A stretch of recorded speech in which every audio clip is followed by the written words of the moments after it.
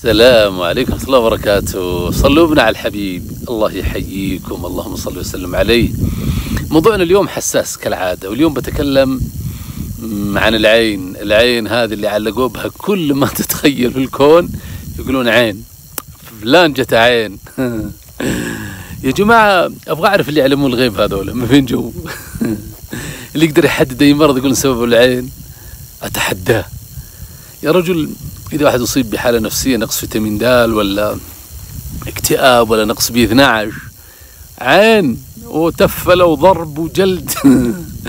يا جماعة حتى مدمنين المخدرات يضعفون يصير لهم مشاكل نفسية وقالوا الولد محسود ما عاد يروح الدوام محسود ما عاد يروح المدرسة معيون عين. يا جماعة تفاقمت فكرة العين إلى أن أصبحنا نعلق عليه كل شيء كل فشل في الدنيا نعلقه على العين. وأنا أتحدى أي واحد يقول المرض الفلاني بسبب عين. يكون عالم غيب. واللي يعلم الغيب أنت عارف إيش عقوبته من الله. هذه ما يعلمها إلا الله. هذه مفروض يصاب بها أعلى رجل في الدولة لأنه عنده تريليونات. هذه يصاب بها بيزوس اللي عنده 700 مليار ولا 800 مليار ريال سعودي.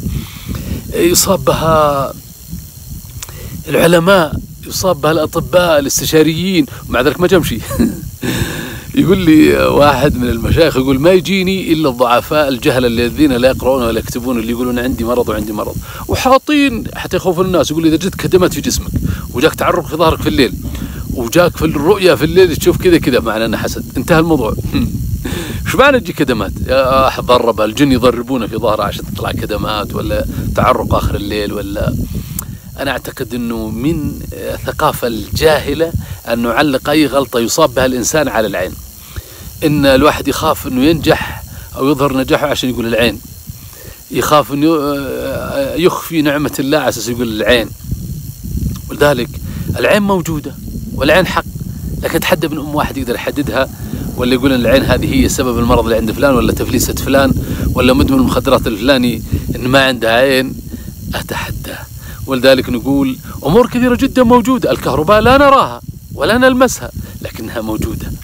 فهمت الفكرة؟ ولذلك نقول آه، جعل العين مريبة لنا وتخيفنا من أي عمل نعمله في الدين نقول خاف العين خاف العين هذه كارثة دينية وكارثة إسلامية. يا جماعة اشتغل وكلنا على الله ولو يعني ولو أن العين قالوا أن العين تصيب كان أصابت الأغنياء والأطباء والدكاترة والناجحين في العالم وما أصابتهم. ستة ألاف مليون إنسان كافر ما أصابتهم. يعني ليش نعلق؟ كل غلط يصير في الكون على النوعين أي شيء مجهول ما نقدر نفسره على النوعين خلونا ننفك شوي من عقدة العين العين موجودة والعين حق خلها على جنب. لكن إذا أثبتت لي أن المرض الفلاني سببها فأنت فأنت رجل اخترقت العادة وزي اللي يعرف يوم القيامة متى يجي.